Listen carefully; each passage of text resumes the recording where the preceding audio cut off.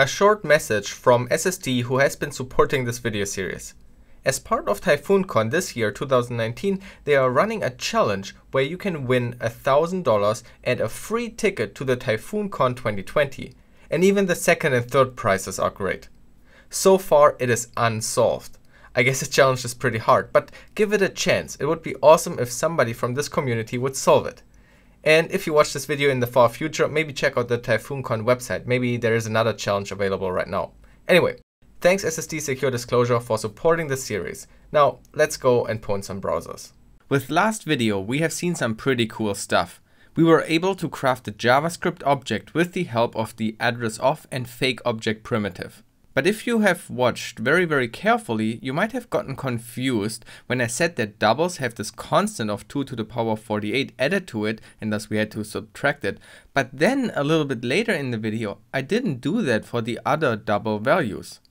The second question you might have is, why did I call the fake object primitive from last video a memory corruption when there was no crash or in general it didn't look like we corrupted anything?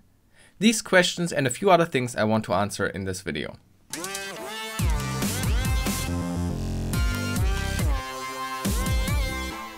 Let's talk first about the doubles, and it's quickly explained by showing it to you. So when I create an array with a few doubles, we can see that WebKit created an array with doubles, and in memory the three elements look like this right now. Now, when I change the array by pushing an object into it, it turns into a more generic array with contiguous. And when we look now at the elements of the array and very carefully compare them to the previous values, we see that they now have this 2 to the power of 48 added. Here it was A, now it's B. Here it was 3, now it's 4. Here this is C and now a D. So sometimes JavaScript core stores the double just as a regular raw double and sometimes it adds this value to it. This difference is often called boxed and unboxed. The description about the added 2 to the power 48 was coming from the JS value header file.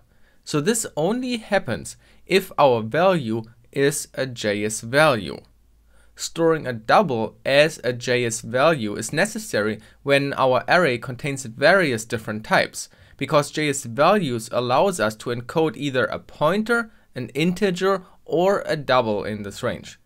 And to make sure we don't confuse a double with a pointer, we force this addition of this hex 10000. That's why doubles start from this range. And so if you want to access a double in your array and JavaScript core sees that you use a generic array with contiguous, it has to first subtract that value to turn it into a raw normal double. And of course the same in reverse when you want to write the double in that array. But when JavaScript core knows that you only operate on doubles because you only ever place doubles into your array, then the array can stay a type specific array with doubles and can let the doubles be unchanged so of course that is slightly faster. To round out this topic, let me read another comment from WebKit sources from the data format header file. This data format enum tracks the current representation in which a value is being held. Values may be unboxed primitives, so this can be integers, doubles or cell, or values can be boxed as a JS value. For boxed values, we may know the type of boxing that has taken place.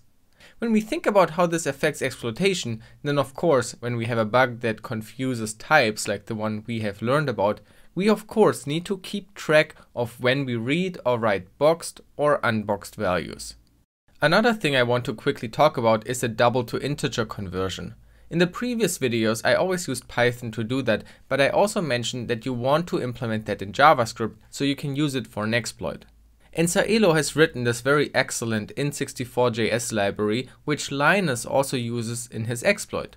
If you scroll through the in64.js code, you can see that it, for example, has all these checks and warnings like this integer cannot be represented by a double. It also can add the 2 to the power 48 in case you want a JS value, so a boxed value. It also does arithmetic for you and so forth. It's everything you need. But instead of just using it, I want to explain how this conversion is implemented in JavaScript. And it actually is using these struct methods to convert the values, and those are implemented in utils.js, also written by Saelo. And this struct is a simplified version of the similarly named Python module. And it works basically how we converted doubles in Python, we struct.pack or struct.unpack. But this also reveals the underlying trick of conversion.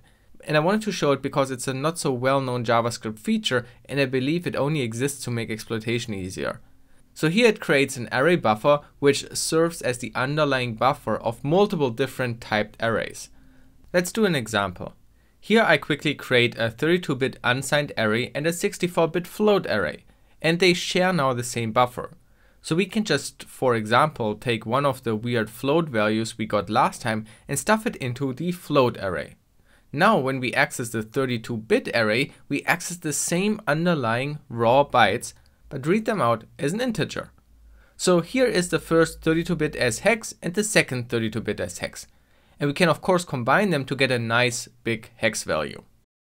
The reverse works basically in the same way. When you have a big integer like this one, you first have to split it into two 32-bit parts and you can do this with some basic math. Dividing it by the base you get the upper part and of course converting this float to an integer cuts off here.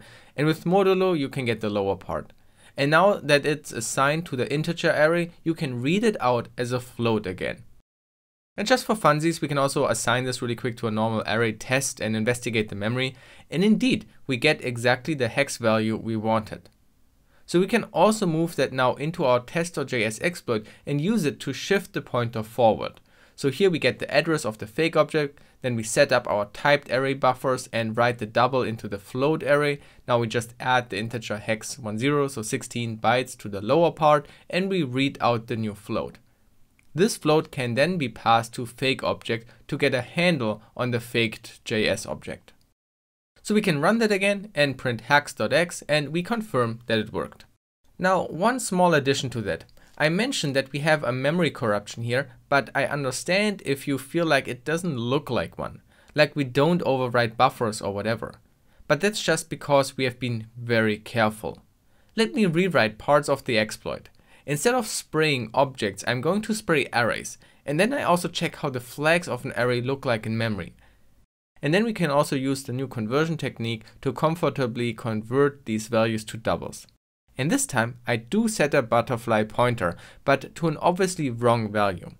Now our faked hex object will be an array, but the butterfly points into bad memory. And then at the end, let's try to access the length of the array, because that is stored in the butterfly. When we execute the exploit now, we crash with exec bad access. Let me quit this LLDB debug session and just run it directly against JSC, then this happens. Error, address sanitizer, segmentation fault. So this output appears because I had compiled my test JSC instance with address sanitizer, which is a helpful debug feature to catch some issues that might not immediately crash otherwise. But in this case, of course it crashes and it also includes this detailed debug trace. So if you would, for example, fuzz JavaScript core, you might want to use an ASAN version to detect memory corruptions. Thanks again to SSD Secure Disclosure for supporting this series. Check out their website and learn more about the SSD Vulnerability Disclosure Program at ssddisclosure.com.